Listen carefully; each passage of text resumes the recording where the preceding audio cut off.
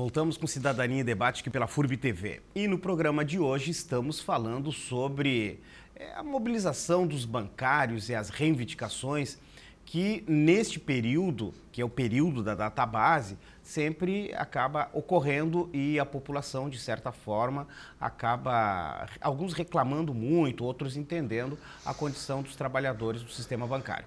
E quem está falando aqui a respeito desses assuntos é o presidente do Sindicato dos Bancários de Blumenau e região, o Leandro Spezia. Bom, no bloco anterior, a gente, tá, a, a gente fez um, um, um balanço da condição do, do bancário, é, falamos um pouco de como os banqueiros acabam tendo muito lucro e na hora de repassar para o trabalhador é sempre essa dificuldade. É, e provavelmente o ano que vem vai ser a mesma coisa. A pergunta que eu quero levantar neste bloco é o futuro do bancário. Qual é o futuro do bancário, Leandro? Então, Carlos, eu, a gente faz uma avaliação de que o nosso futuro não é muito promissor. Né? Infelizmente, a cada dia que passa diminui o número de bancários, uhum. nós somos substituídos por máquinas. Né?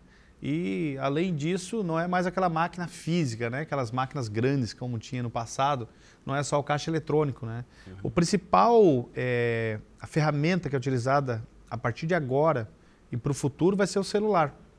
Então, a maioria das operações bancárias serão realizadas pelo celular.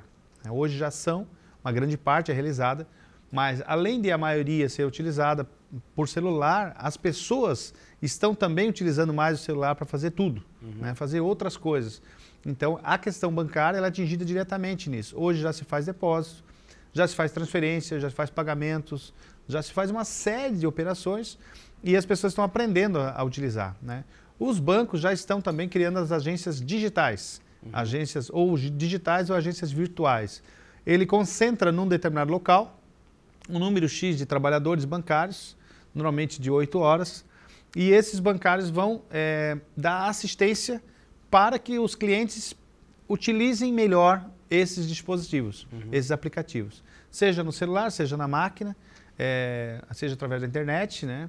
Então, nós percebemos que esse caminho já começou, né? já existem pilotos em alguns bancos, no próprio Itaú, no Banco do Brasil, onde é, as pessoas estão aprendendo a cada dia mais se auto-atender. Uhum. E o papel do bancário, do gerente, vai ser mais de auxiliar e de resolver problemas. Uhum. A né? figura do, do, caixa tende a desaparecer. É, exatamente. A figura do caixa que já diminuiu muito, né, pelos correspondentes, pelos caixas eletrônicos, agora deve diminuir muito mais por, pela tecnologia do próprio celular. Né? Então, é, a nossa categoria a gente prevê que vai da, diminuir mais ainda. Uhum. Nós devemos ser substituídos alguns setores por terceirizados. Uhum. Lamentavelmente, o governo vem é, tentando implementar essa terceirização dos fins. Né? Uhum. O projeto que está tramitando é de terceirizar os fins. Então, isso tudo já está meio articulado para que é, o, o, setor bancário é, seja o mais privilegiado nesse aspecto, de, consiga ter, de que consiga terceirizar é, vários dos seus é, setores, vários dos seus segmentos,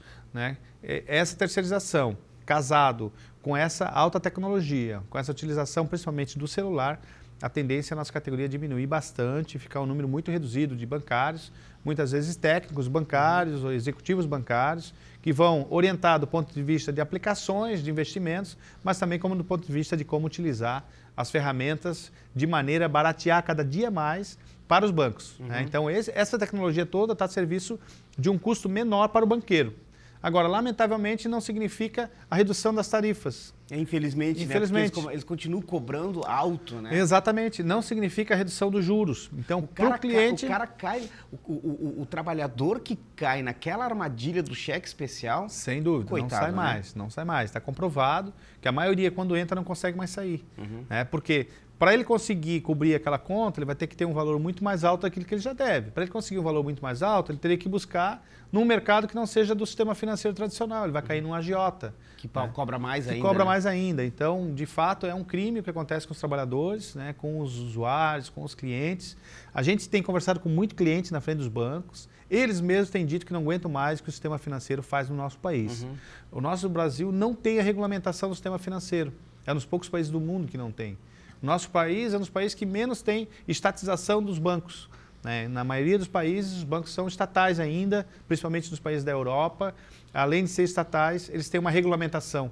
Eles não podem cobrar os juros que vem cobrando hoje no país, não podem fazer os absurdos que os banqueiros vêm fazendo. E, além de tudo, ainda dando um passivo enorme para o INSS, para os cofres públicos, é, do, no que se refere à saúde. E aí a, a discussão do, do, das aposentadorias cai nessa, nessa questão, né? Exato. Porque o, o, os veículos de comunicação tradicionais, é, é, é, os grandes, as, as, grandes redes de comunicação, elas são, benefici elas são beneficiadas pelos, pelo, pelos investimentos publicitários que os bancos fazem. Ninguém aqui é ingênuo, é, a gente acompanha todos os dias é, as publicidades na, na, nas TVs, no, nos jornais, nas revistas, e depois eles cobram isso. Então, os veículos de comunicação acabam fazendo o trabalho em nome dos bancos. E, de novo, o trabalhador acaba perdendo, né? Exatamente. Hoje a gente percebe que a própria greve nossa, quando inicia, ela tem uma cobertura maior da mídia, mas em nível nacional os banqueiros acabam é, fazendo um investimento muito pesado. Né? Nós jamais vamos conseguir disputar é, essa mídia né? nacional, eu falo da grande mídia, né? não é localizado porque os investimentos são muito altos. Né? Além de, do, da iniciativa privada, você pode observar as Olimpíadas, as Copas uhum, do Mundo. Né? Uhum. Né? Elas são muito financiadas por bancos ou por telefonias, empresas de, telefônicas, né? Uhum. que são as que mais investem e, é, por sinal, as que mais têm reclamações, seja no PROCON, seja nas agências de, que regulam, né, no próprio Banco Central e assim por diante. E o, o, o sistema financeiro, os bancos, de um modo geral, é, eles acabam também é, armando uma armadilha para o trabalhador, fazendo com que, com que todo o salário que, que, que, qualquer trabalhador venha receber, ele tem que colocar lá no banco. Ou seja, os lucros no, o lucro no, no, no final do ano são sempre exorbitantes, né? Exato. né? Aliás, qual foi o lucro do, dos bancos, uh, Leandro? Olha, para ter uma ano? ideia, em plena crise, né, uma crise nacional, uma crise no mundo todo, mas principalmente nacional, no nosso país, os cinco maiores bancos no último período nos últimos 12 meses, lucraram 29 bilhões. Uhum. Não são milhões, são 29 bilhões. Então é muito dinheiro. E isso está. É, é, a resposta está onde? Ah, os juros no período, no, no, ano, foi a média dos juros, isso é só a média, 400% uhum. ao ano. Se pegar o juro de cartão de crédito, chega a 800%. Então os bancos estão cobrando muitos juros. Além disso, é o que você falou, toda pessoa acaba tendo que passar, utilizar o serviço bancário. Isso, na verdade, nós chamamos isso de criminoso. Uhum. Porque você coloca seu dinheiro lá, qualquer operação que você queira fazer para utilizá-lo, você tem que pagar. Se você quiser utilizar como um, o extrato, tem limites, né? Você uhum, pode tirar um uhum. extrato por mês, depende da conta, depende do cliente, né? mas você tem que ter um pacote para manter aquela conta, a manutenção de conta. Toda e qualquer operação que você for fazer, você vai ter que desembolsar. Né? Então, é um negócio bastante cruel. Né? O trabalhador, ele tem a opção da conta salário, mas a gente sabe que a grande maioria das vezes ela é uma conta corrente. Uhum. E também muitas vezes é conta salário naquele banco, mas acaba sendo transferido para um outro banco porque ele depende da, da, da bancarização, da financiarização. Até os banqueiros fizeram uma campanha muito forte nos últimos anos de que eles iriam ser responsáveis pela bancarização ou seja, levar o dinheiro para todos os lugares do Brasil. Uhum.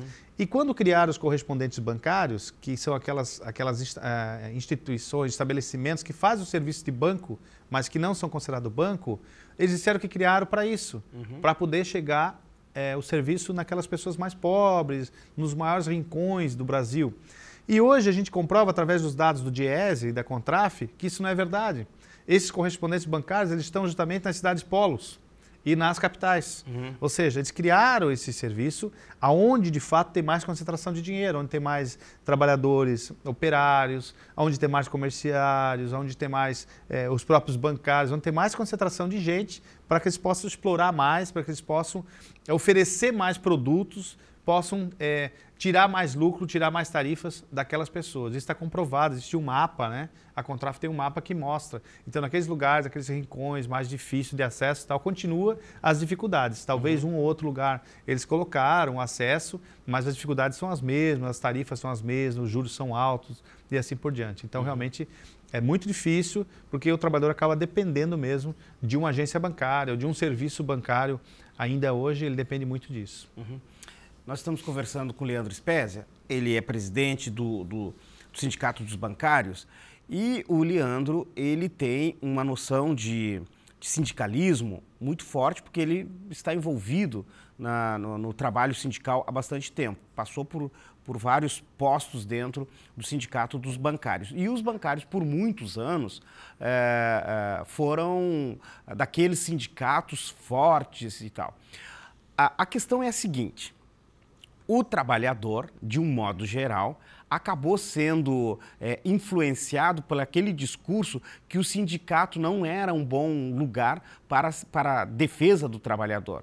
E hoje, os próprios bancários já começam, os trabalhadores do sistema bancário, eles começam a perceber que o local ou a tábua de salvação é o sindicato. Tanto é que na greve, nas paralisações, nessas reivindicações, a mobilização dos bancários passou a ser uma, uma mobilização muito maior. E a questão é a seguinte, ô, ô Leandro, né? feito esse discurso, é, o trabalhador ele começou a, a, perceber a necessidade de se unir, de, de se mobilizar para melhorar a sua condição de trabalho? Eu acredito que sim. A gente percebe isso nas mobilizações, né, nas nossas greves, nas campanhas salariais. Ainda não é o que a gente deseja, é, precisa muito ainda, né? Mas a gente sabe que do outro lado também tem um trabalho para isso, né?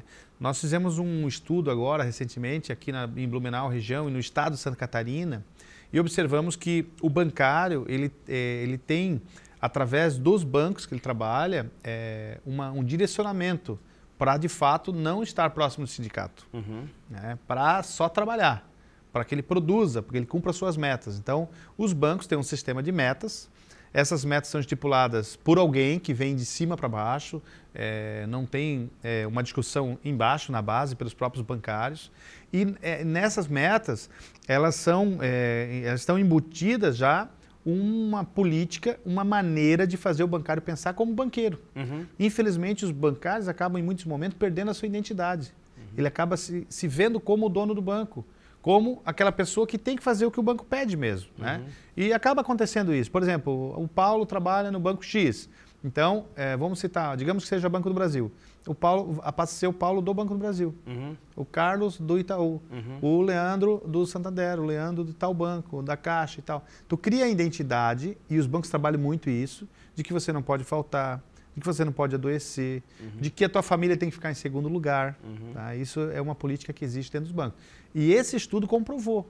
Não é algo simplesmente que o sindicato observou. Não, nós somos a, a, além, nós somos estudar, analisar através de profissionais, de psicólogos. O próprio Ministério do Trabalho constatou isso através de fiscalização dentro dos bancos, de como é feito, pode-se dizer, uma lavagem cerebral para o bancário achar que o começo, o meio e o fim da vida dele é o local de trabalho, é o banco. Uhum. E ele tem que fazer tudo para cumprir suas metas. Caso ele não cumpra as metas, ele é considerado incompetente, ele é considerado uma pessoa que está descontente, que é, o, que é o cara que não é um cara legal, uhum. que é o cara eh, que traz o mal, uhum. que é o cara que não traz o bem. Então a gente percebe que isso acontecendo dentro dos bancos, durante um bom período, os bancos conseguiram enganar os bancários, fazer com que eles assimilassem isso. Só que hoje uma grande parte deles estão percebendo que isso, na verdade, é um engodo, né? Na hora de, de fato, é, que quando ele fica doente, ele precisa sim de uma família. Né? No dia a dia dele, ele precisa de uma questão espiritual. Ele precisa do sindicato para defender seus direitos. Ele faz parte do sindicato. Né? Tanto é que chega na negociação, se não tiver greve, se não tiver luta, ele não consegue conquistar um salário melhor. Uhum. uhum. Nem é conquistar um salário melhor, né? Olha como é contraditório. Repor a perda que teve durante uhum. o ano. Uhum. Até para repor a perda, ele tem que fazer uma greve, ele depende do seu sindicato. Né? O número de afastamentos que nós temos, então, é muito alto. O próprio bancário que adoece percebe que adoeceu por causa do banco. E hoje, os médicos e o próprio INSS têm reconhecido que as doenças são pelo Código 91, que é relacionadas ao local de trabalho, que é considerado acidente de trabalho. Uhum. Porque é o excesso de trabalho, excesso de jornada, muitas vezes não conseguindo tirar os 30 dias de férias, não conseguindo almoçar decentemente e, além de tudo, sendo humilhado porque não, não conseguiu cumprir a meta. E essas metas, por incrível que pareça, não são mais de 100%. São metas de 120%, 150%, 200%, ao ponto de, em algum momento, cobrar a meta de 300%. Uhum. Né? Ou seja, estipula um valor X, se tudo cumpre aquilo, mas tu tem que, além daquilo, cumprir duas vezes mais ou uma vez mais, ou, uma, ou meia, ou, entende? Então, assim, nunca tem limite, sempre tem que ser mais, sempre tem que produzir mais. E isso faz com que o próprio bancário perceba, opa, pera lá. Alguma coisa está errada. Está errado. Por que, que eu estou sendo tratado dessa maneira? Por mais que eu consiga melhorar um pouco o meu salário, faz, cumprindo essas metas, mas vale a pena a minha saúde?